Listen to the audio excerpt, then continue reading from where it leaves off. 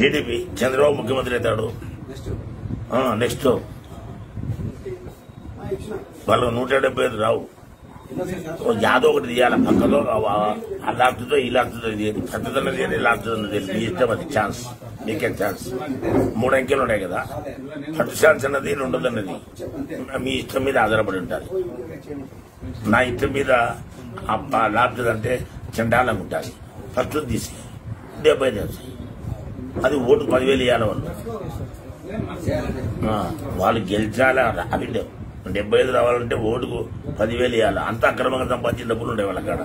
మేము రూపాయి ఇచ్చినా మాకేస్తారు.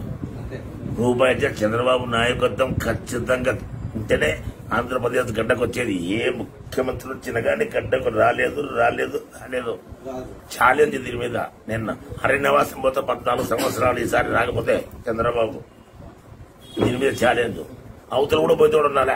అనామకుడు పోతా అంటాడు బేవర్చాడు నా పోత సమానమైన కెపాసిటీ గలవాడు నాకు పోటీ రావాలి. నూట నూట డెబ్బై ఐదు నేను నూట డెబ్బై ఐదు? ఐదా నేనేమంటున్నా మీకు విలేకరులకు?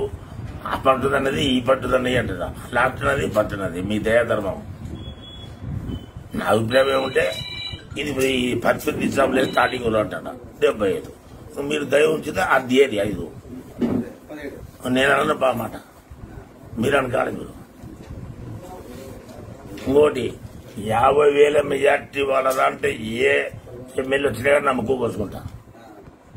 మనంత వస్తాడు యాభై వేలు టీడీపీలో. యాభై వేల మెజార్టీ నూట డెబ్బై ఐదు నియోజకవర్గాల్లో ఏ నియోజకవర్గం నియోజకవర్గంలో మా మా వాళ్ళు గెలుస్తారు వాళ్ళ దాంట్లో యాభై గెలిపించే మగవాడిని ఒక్క రోజు పెట్టు. మీరు ఎప్పుడు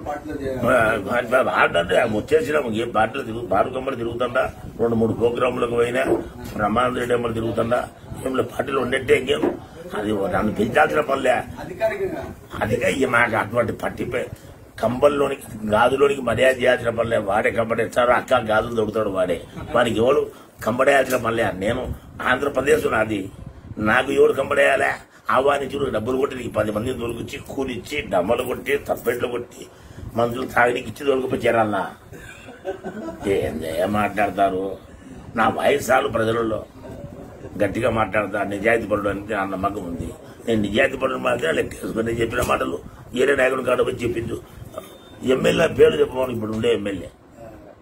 అప్పుడు మున్సిపాలిటీ ఎలక్షన్లు ఎప్పుడు జరిగినా చెప్పమను. అరవై చైర్మన్ వాళ్ళు అరవై ఏడు తర్వాత ఎప్పుడు జరిగింది మళ్ళా? అరవై రెండు అరవై ఏడు.